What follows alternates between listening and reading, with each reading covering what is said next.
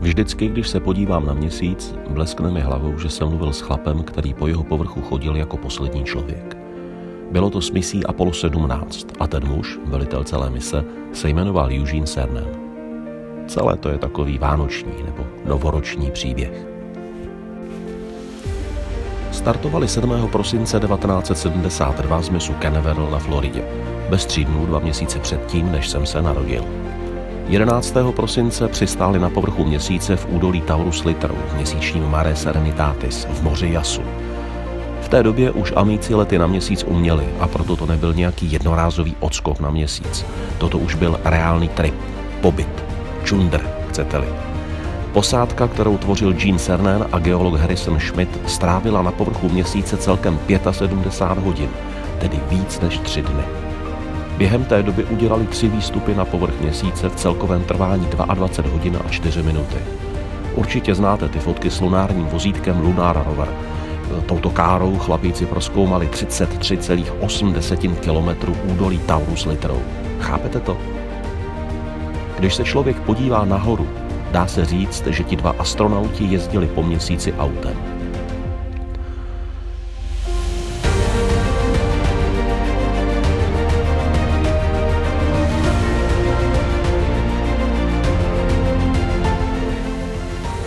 Na Zemi potom přivezli víc než metrán, přesně 110,5 kg hornin. A tak vždycky, když se dívám na nebe a vidím měsíc, přemýšlím o tom, že se třeba zrovna dívám tím směrem, na to místo, kde jezdil, na to místo, kde jsou jejich stopy. Vždycky, když se dívám na měsíc, říkám si, jak asi vypadala planeta Země od tamtud. Jak se na naši planetu dívali oni, když stáli na měsíci.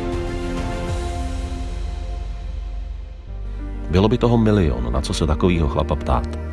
Mě ale nejvíc zajímal nadhled. S jakým odstupem se člověk dívá na planetu Zemi, když ji vidí z měsíce. Uh,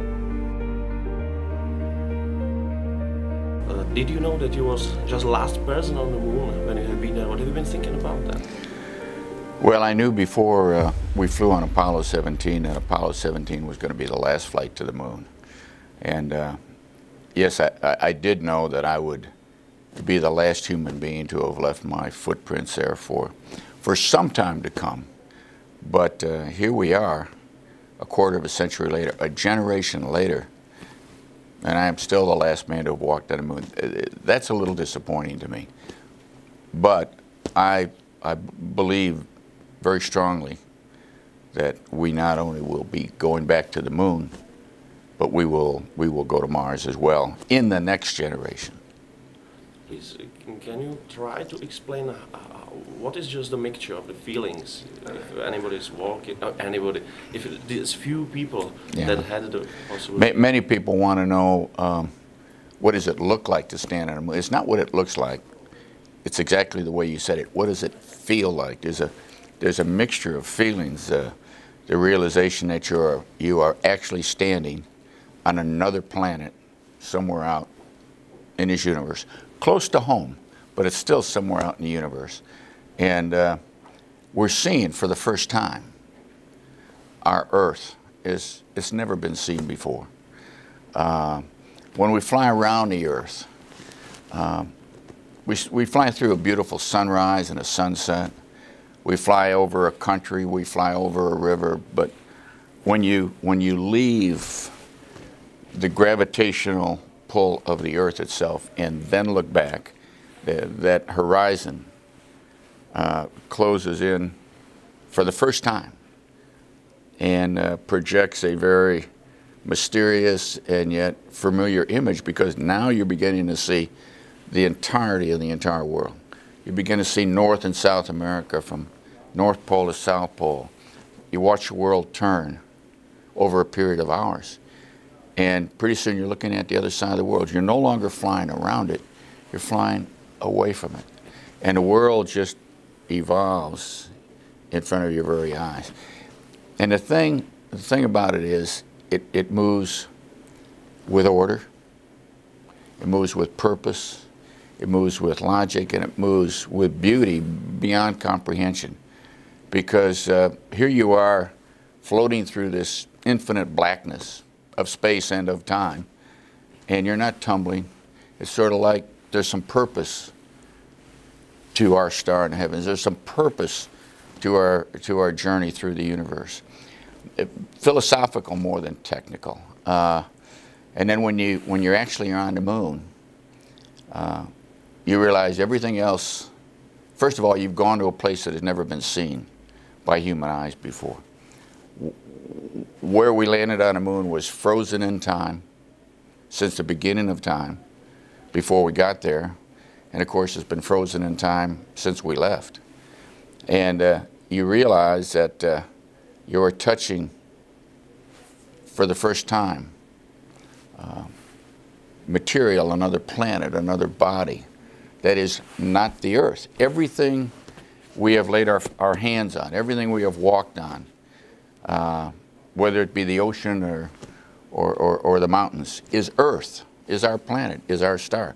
Now, when you're on the moon, you realize this is not Earth. Maybe one day it was a, it was a piece of the Earth, but at this moment, it's another body out there in the universe. A very uh, uh, philosophical place to be, and yet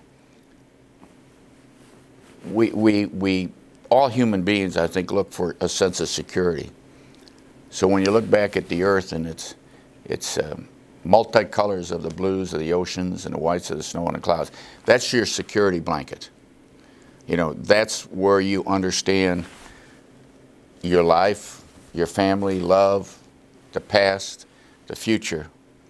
Although the moon becomes your home, and where we lived, it truly became our own little Camelot. It's still a, it, it's still foreign. It's it's not. You totally don't understand.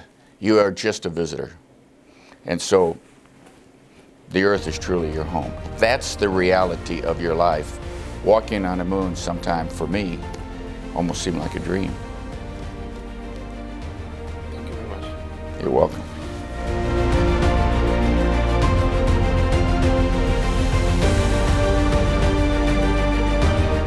Sedmého prosince 1972, když byli 45 tisíc kilometrů daleko od planety Země, pořídili fotografii plně osvětlené polokoule naší planety.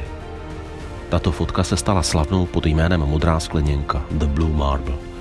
Je to jediná taková fotografie pořízená během pilotovaných letů. Posádka Apollo 17, tedy včetně Eugena Cernana, jsou jediní lidé, kteří takto na vlastní oči zemi spatřili. Podívejte se taky.